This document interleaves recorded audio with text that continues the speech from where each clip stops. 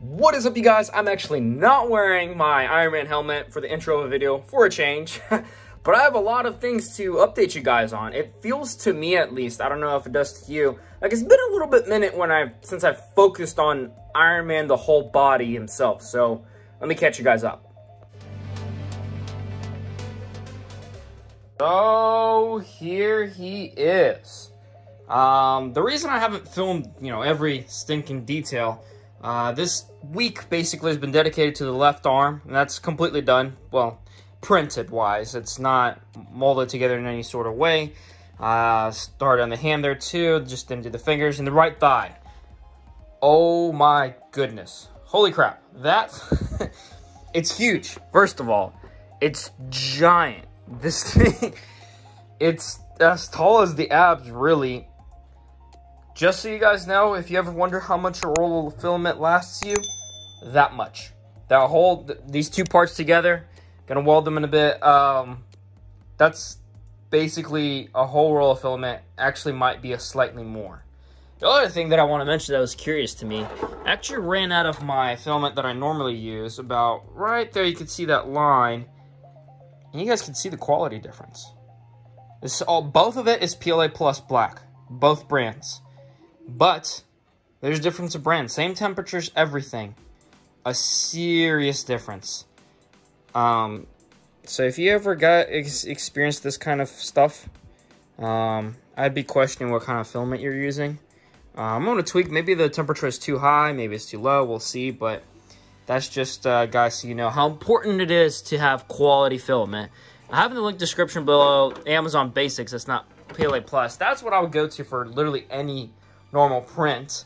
Um, but if you have any other issues and you want to do PLA Plus, uh, join our Discord down below, actually. It's been very helpful uh, to me personally and uh, others as well. So um, that kind of stuff is can happen when you have poor quality filament. Now, uh, the other thing I finished is a Tony Stark arc reactor.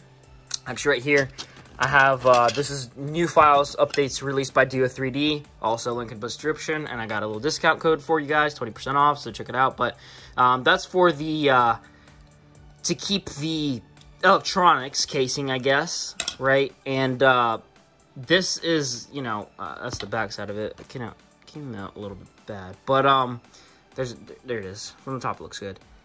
I'm gonna try to do a resin mold probably, because you want it see-through right here, um, I'm going to test it out actually with uh, transparent PLA.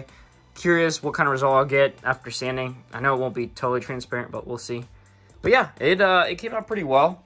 So there you go, guys. That's the update on the Iron Man suit. For the most part, the upper half is completely done. And we're starting on the lower half.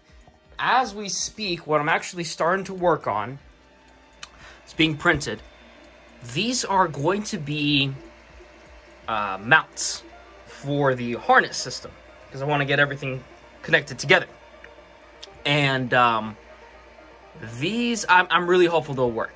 I'm going to have a separate video just to talk about the harness system because there's just very little to no resources about it. Um, it's all kind of experimental. If you're wondering how my experiments are going, there you go. Those are my experiments. I have tried, I'm, I'm not dumb, okay? I didn't do duct tape for a permanent solution. I just try to get the mount points and stuff and use, okay, nylon strapping, duct tape, and PLA plastic just, just doesn't work well. That didn't work. Scrap that project. Um, so then I tried uh, flexible, this kind of webbing thing, and, uh, you know, this industrial grade, so they say, adhesive. And, um, no, that doesn't work. It doesn't stick to the uh, prints. It falls after a while. I was very hopeful about it. This this Velcro would work, but it does not. So I'm going to have a whole video dedicating of what does not work, uh, things I learned from what does not work, and hopefully what does work. So that's going to be coming up. And um, yeah, there we go. That's our update on the Iron Man himself. Just the legs left. We have a little piece right here left. The back is actually completely done. You can't really see it, that side right there. Um, that took a whole week too. Didn't really detail much about that, but I'll show that better in videos when it's hanging up. And I'll show you guys, bam, this uh, armor stand and how I made it work. Um, it's a little bit oversized. Got to trim it tonight. Um, but I didn't want to trim it until I got the suit harness together, hang on it to know what's too big. And I'm a whole video separate just for that because, again, there are no resources to uh, talk about that. And um, I've learned some things, and there's some things I might tweak to the uh, design. So, yeah, there you guys go. This is the uh, whole suit. Only electronics are the lights. It looks pretty freaking awesome. And uh, there you go, guys. I'll see you guys in the next video.